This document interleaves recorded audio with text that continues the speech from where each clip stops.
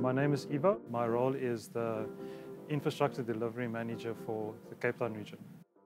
I think the perception in, in South Africa about data centers is very limited. So I don't think a lot of people know what data centers are. And I, I, I don't think a lot of people know what that there is something like a data center and the role the roles that they that's available in data centers. It's very fast paced. It's uh, evolving. It's new technology that comes out all the time. There's a lot of things to learn. Um, there's very uh, intelligent people that we work with.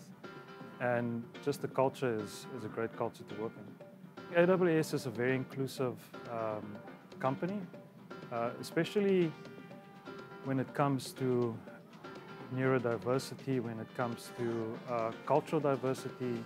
Um, there's a lot of different cultures within AWS if you don't understand um, where other people come from or other people's perspective or the things that other people struggle with, it's difficult for them and for yourself to be able to do your best at what you, what you can do. It's a great environment to grow. There's, there's so many different opportunities. There's so many different people you can meet. I would say if you ever had the opportunity to join, take it.